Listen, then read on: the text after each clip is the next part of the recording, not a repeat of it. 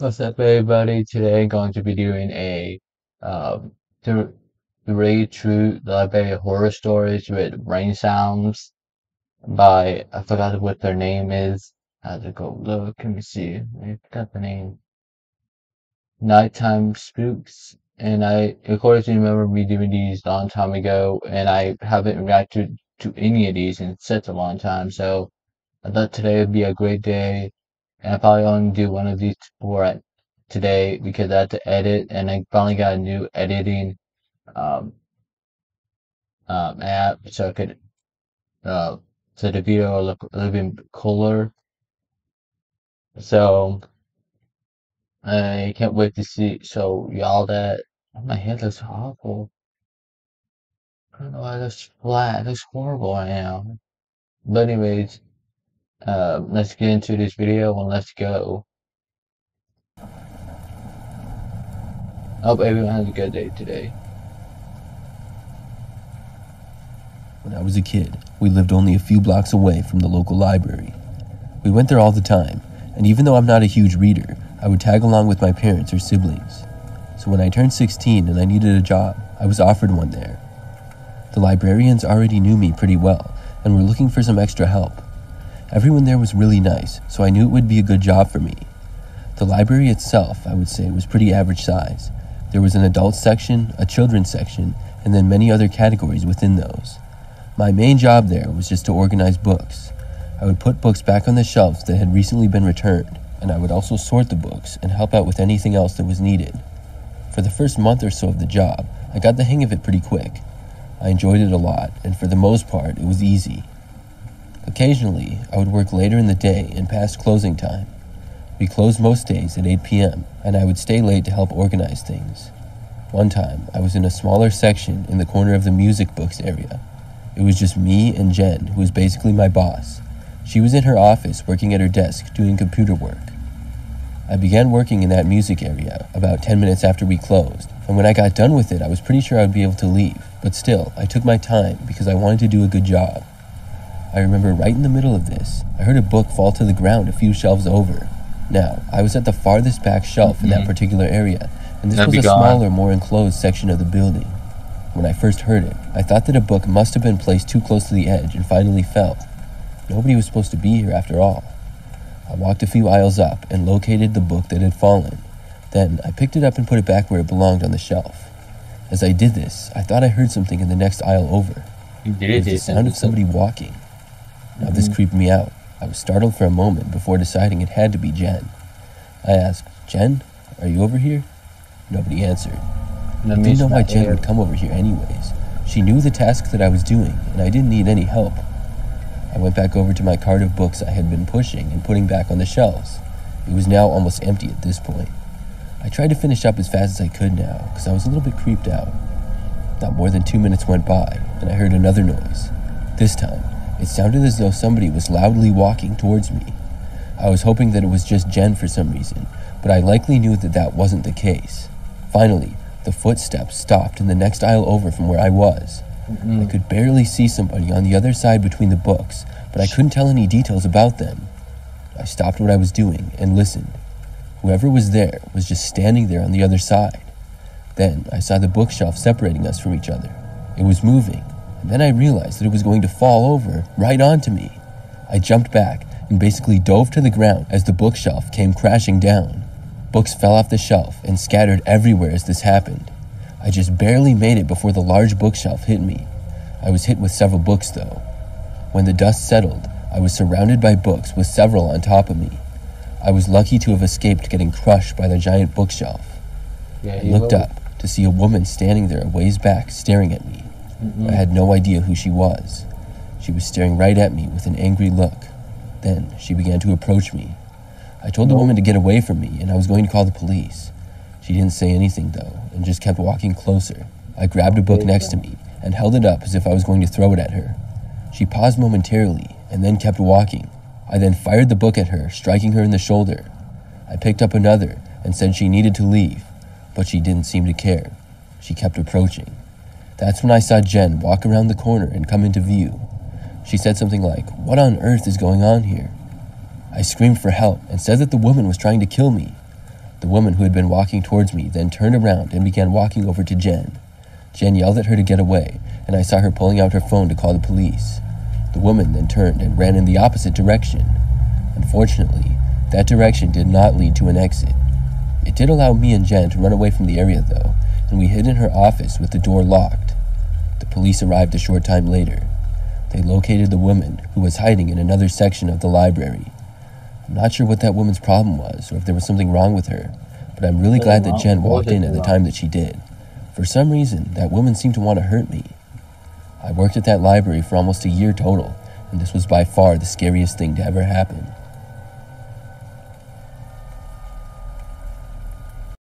MPB, the platform for used photo and video kit. Change gear. Your meatball calzone. Could you throw it in the back? Schlotsky calzones. They even taste big. Like, okay, that's dark. I'm a female and do quite a bit of reading. Books have always been a big part of my life, and I will read almost any topic. I believe that this love for reading started back when I was a kid and would often go to the library.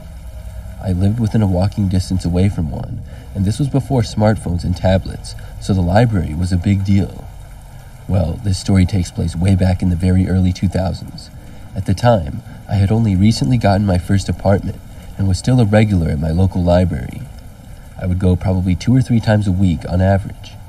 The library that I went to was pretty big, and the most popular one in the city that I lived in. It all started one time when I went to the library like any other. Recently to this, there was a certain series of books that I was reading. I had just finished the fourth book of the series and went to the library to get the fifth, among a couple of other things. After I left the library that day and went home, I started reading the book that night. However, when I got to page 20, I noticed something. There was writing in pen in the middle between one of the paragraphs where there was a little bit of open space.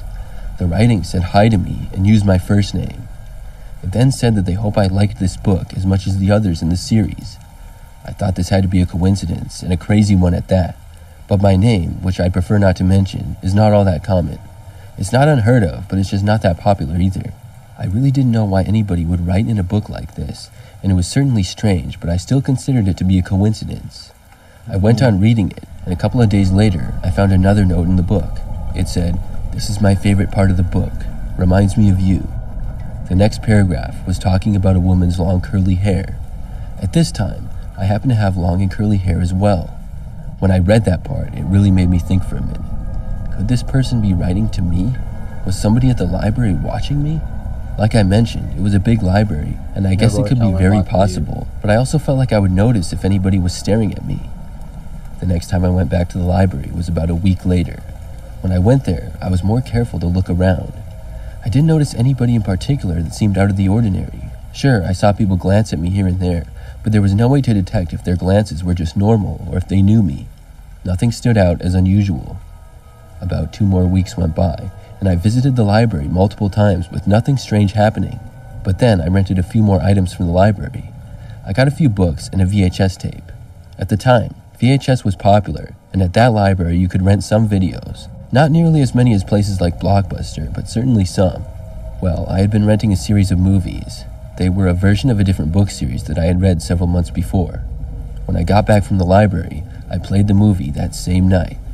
When I put the tape in, though, I didn't see what I was expecting to. There was no movie on it. Instead, it was a weird type of home video. I recognized that the first clip was of me. It was me in the library reading. It appeared that whoever had took this video was pretty far away and had zoomed in a decent amount. The clip went on for maybe 20 seconds or so, and then the tape went black. Then, it picked up again, now showing what I recognized as my apartment building. It was nighttime, oh, and this was also very zoomed in, so it was a little bit blurry. Still, I could see the parking lot, and it showed me walking in the parking lot and then going inside. The clip kept going for a few seconds and then stopped. I couldn't watch any more after that, and I turned it off and took the tape out. Now I knew somebody was stalking me. The next day, I went to the library and told them everything. Then I went to the police. The library told me that there wasn't much they could do. Security cameras weren't as common or as good quality back then, and I knew they wouldn't be able to watch every person in there like a hawk. The police told me that they would look into it, and I made a police report. However, I didn't feel all that much better knowing that whoever was doing this was still out there. Mm-hmm. Obviously, I tried to stay away from that library. I kept a close eye on my surroundings wherever I was, and I tried to leave my apartment as little as possible. I really didn't see anything unusual, though. Whoever was doing this was pretty good at blending in. A few days went by, and there was nothing. Then one night, I suddenly saw flashing lights outside my window coming from the parking lot. I looked out and couldn't really tell what was going on, but only a few moments later, I got a call from the police telling me they had arrested the person who had been stalking me. They were, in fact, in my parking lot. They let me know that they had been surveilling my apartment and saw a man appearing to be watching my place several nights in a row, among other evidence. This time, he got out of his car and began walking towards my place, uh-huh. and then they were able to stop him. I had never seen this guy before and didn't know him. I learned to always pay attention to my surroundings because you never know who could be watching you.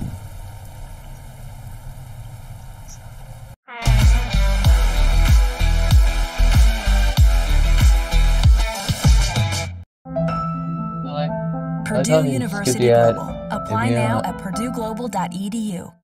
oh, it didn't tell anything. I thought it did.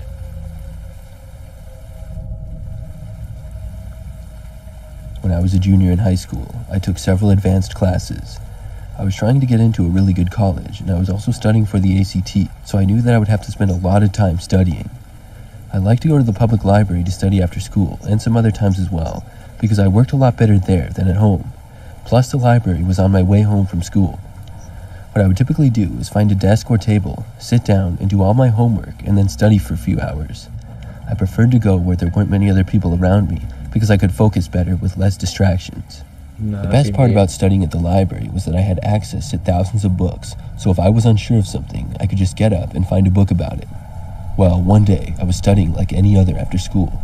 I had my notebook, several papers, and several books spread out at my table. The library was not too busy, which was typical, but there were a few other people here and there. I wanted to find a book about the topic that I was studying, and I left all of my things there and walked over to find it. I didn't have to go too far to find the book that I was looking for, and I was gone for maybe three or four minutes.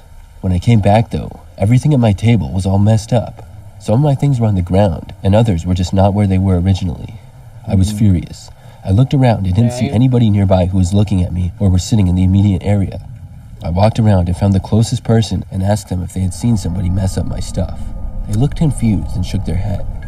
I really didn't think they had done it or had seen anybody, but I was so mad that I had to ask someone. I went back and picked up all my stuff and then went back to work. I stayed there for maybe 30 minutes or so longer. My mood was kind of ruined and I lost some focus. Eventually, I left and decided to just go home. When I got out to my car in the parking lot, my tires were slashed. Somebody had taken a sharp object to all four of them. I had no uh-huh. idea who would do something like this or why. I called my parents and they were there a short time later. Long story short, I was able to have my car fixed and reported the incident to the police. Unfortunately, they were never able to find the person who did it. This is disappointing to me to this day. I also didn't go back to the library, but just went straight home and studied there from then on. This was five years ago now, and I'm still just as puzzled by it. I don't know anybody who would do something like that, but I wish I could know who did it. Okay, well, the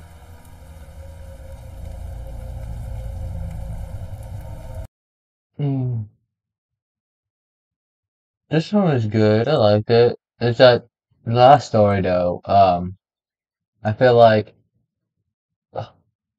is there someone that you um like someone that either didn't like you or they dated you and you, you like you're someone that you done something horrible to? No, it have to be really something. Uh, if they had like a girlfriend that, or at least a boyfriend, if they were that, like, they did them wrong or cheated on them. Uh, I put, I would think it's that, but then I don't know. I don't think they'll go to that extreme. But then there are people that would go to that extreme and do something that horrible to someone. So it could be anyone. So yeah, the second the second story about the um uh, something with the video, someone videotaping someone or knowing what they do, uh, like that, I'd be creeped out too. I wouldn't know what to do. Like I, I would have like suspicions. I would kind of be looking around to see if they ever seen that. And actually, they said they've never seen that person in their life, so that's the creepier part. How would they know what they never seen them unless they are like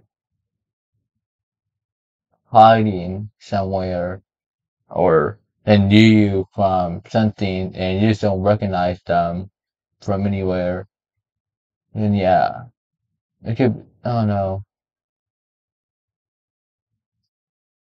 First one, I I don't know what that lady was crazy. I gotta say that lady was crazy as hell. I think she probably was schizophrenic. I don't know which. probably, probably she probably was schizophrenic. If she's schizophrenic, then I'm sorry. Anyone is schizophrenic or has a a, a, a disability, I'm, it's not their fault. You shouldn't call them crazy. Then though, but if they don't have a disability and just like that, then if they don't have a disability and they act like that, then they're just crazy as hell. Nothing wrong. Not, it's they're crazy as hell. I don't know. But thank you for watching. Uh, give this video a like, comment, and subscribe if you would like to. And um, I hope to see y'all later, probably tomorrow or sometime next week. But anyways, um, thank you for watching. I'll see y'all later. Hope everyone, I hope every one of y'all had a good day today.